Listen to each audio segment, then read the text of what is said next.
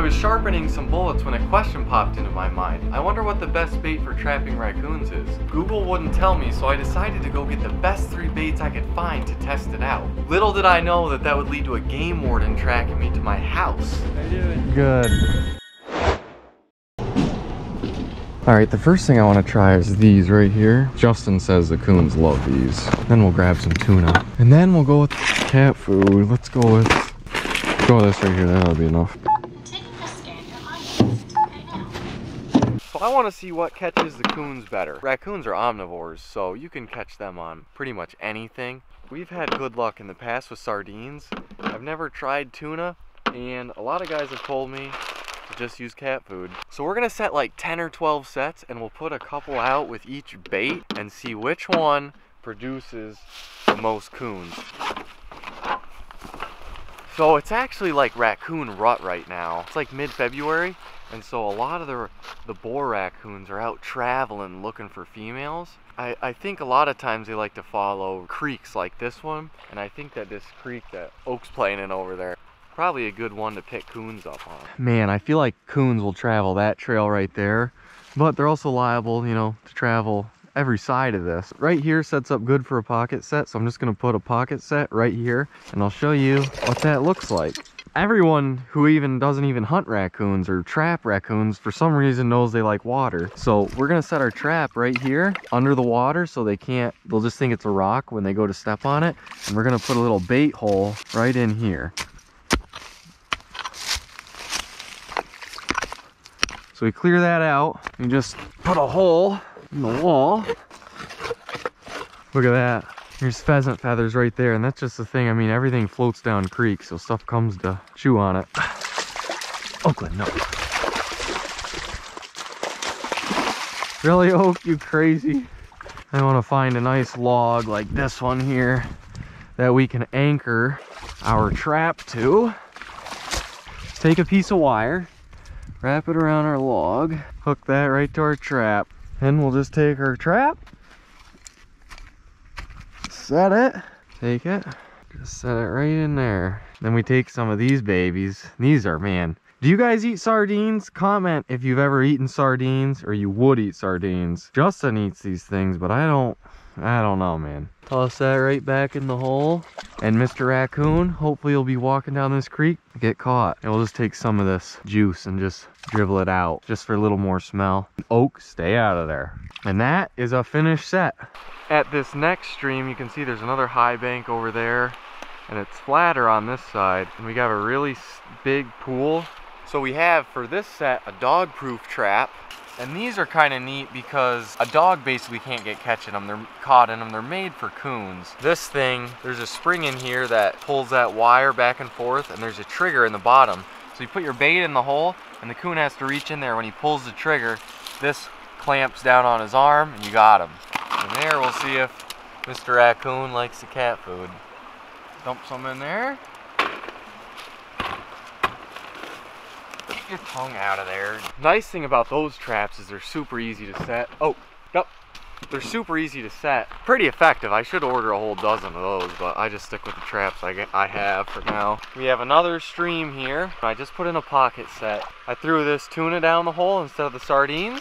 Dribbled some juices around the outside. That gives us a set with all three. I don't want to bore you guys with every single set I make, so all of them will be similar to that, and we're going to set as many as I can, hopefully nine before dark, and I will see you guys in the morning.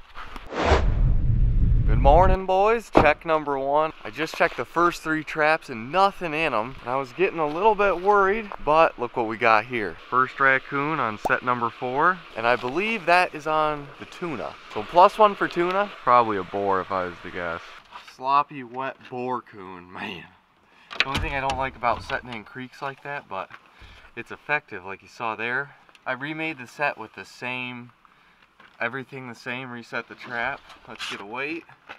He's like 12 pounds even basically. I've never actually weighed, weighed that many raccoons, so this is gonna be a good study just to see what they weigh on average.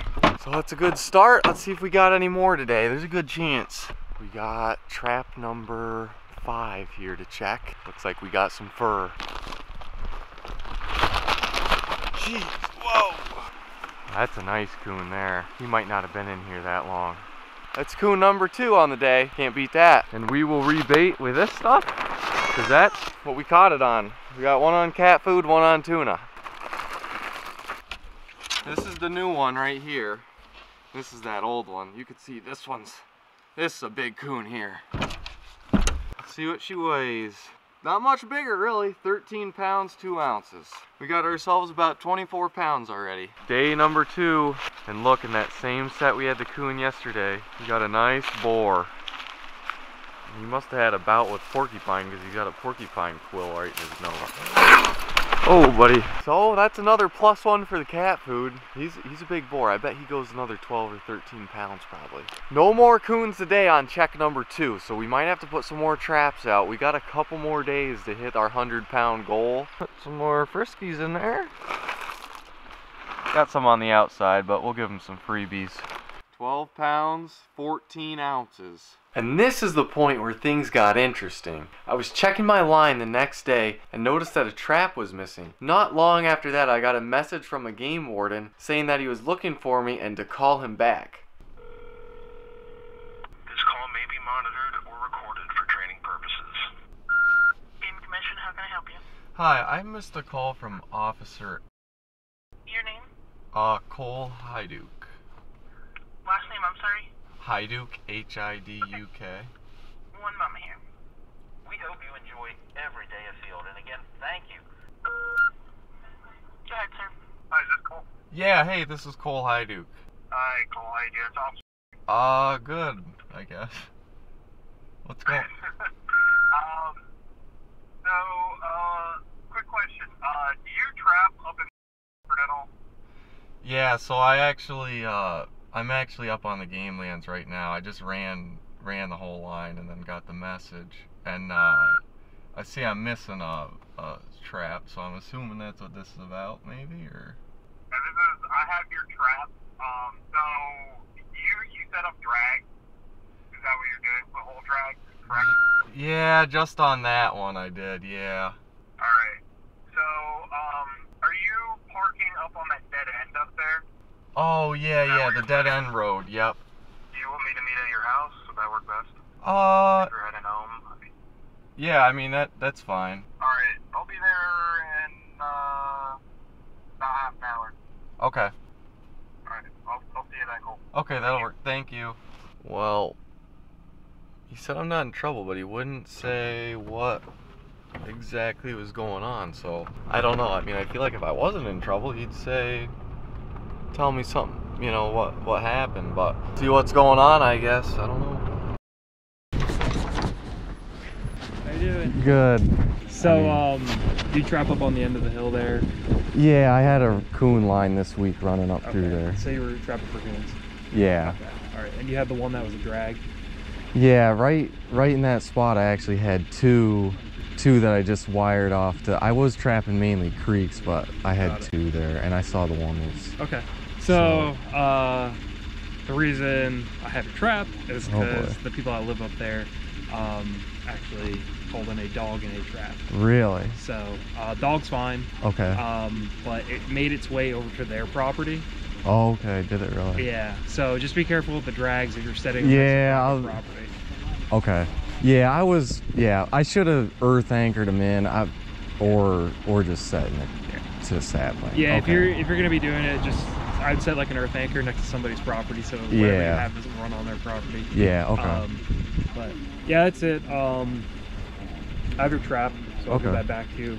Um, also, I have a deer on the back I just shot three hours ago. Would you happen to want it?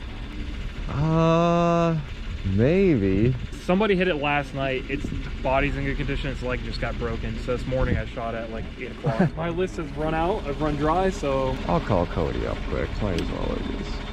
Yo, I got a crazy question for you. Do you ever do you want a deer by chance? I have a I have a game warden in my driveway with a deer and wants to know if I know anybody that wants one. All right, I thought you're the only person I could think of. All right. All right, I just figured I'd check. No, he's we butchered. He had a roadkill one. We butchered this year with him. That's what I was thinking. Ah, about. okay. I All right, don't well, know. here you are. Here's the, uh, the proper tag for it. Awesome. Um, yeah, like I said, property owner up there. They have, a lot, Yeah. they have a lot of problems. So Do they? If, if you can, earth anchor anything down so that doesn't. go Yeah, and I'll just stay clear out of there. Yeah. Oh, Uh, yeah. family, Okay. give me a call. Um, I'm always looking for people to give deer to because, like I Okay. said, I don't want to see these things go to waste. Okay. No. Yeah. I I think I have people once in a while. Right. Well, hopefully I'll see you out there again. All right. Thank you. That's no problem. Take care. So my trap was about 500 yards from these people's property line, and I think their dog wandered out, got caught. I've never had that happen. Coons never take drags more than a couple feet before they get hung up. Thanks to the officer for getting my trap and returning it to me. Thanks for watching, guys. We'll see you on the next video.